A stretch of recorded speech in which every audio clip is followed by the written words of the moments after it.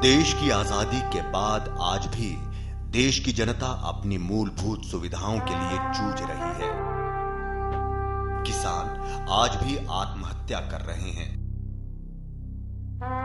जिससे हरियाणा भी अछूता नहीं है। 1966 में बना राज्य हरियाणा कृषि प्रधान राज्य है। लेकिन यहाँ किसी नेता ने किसानों की जरूरतों पर ध्यान नहीं दिया। सिर्फ़ एक शख्स को छोड़कर, जिसका नाम नरेश यादव है।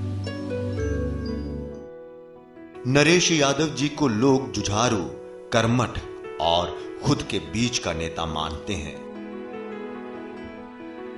एक ऐसा चेहरा जिसको देखते ही किसानों और गरीबों के दुखी चेहरों पर मुस्कान आ जाती है। राजनीति को समाज सेवा का एक ज़रिया मानने वाले नरेश यादव एक बार जल योद्धा से निर्दलीय विधायक भी रह चुके हैं।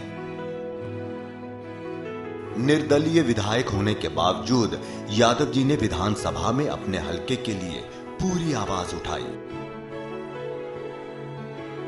उसी आवाज़ की गूंज का नतीजा था कि हरियाणा विधानसभा में special economic zone S Y L नहर निर्माण, सूखा राहत और पानी का मुद्दा ज़ोर शोर से उठाया गया।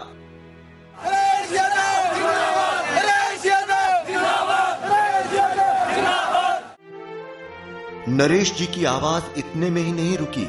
उन्होंने हरियाणा में शिक्षा के लिए भी आवाज़ उठाई। और महेंद्रगढ़ में विश्वविद्यालय और सैनिक स्कूल बनवाया।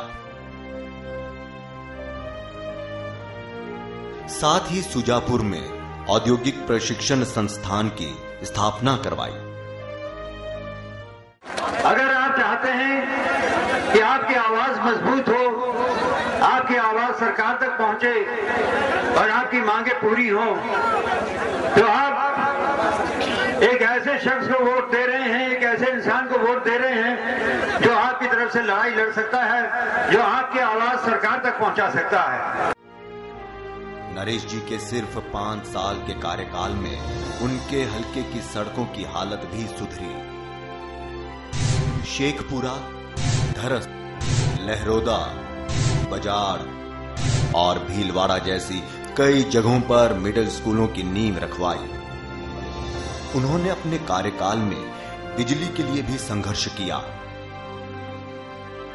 और अपने हलके में बिजली व्यवस्था दुरुस्त करवाई।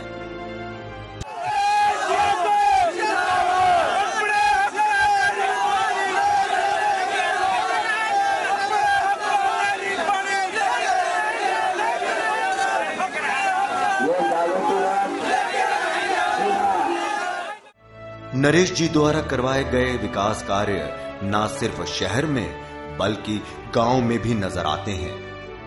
गाँव में चौपालों की मरम्मत के साथ साथ नई चौपालें भी बनवाई